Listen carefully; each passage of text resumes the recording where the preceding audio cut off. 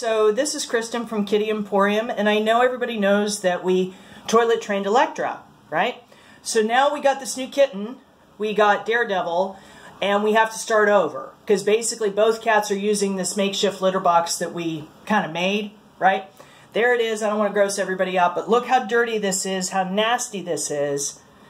And this is the day that that white box in the tub is going away and everybody's going to use the toilet there.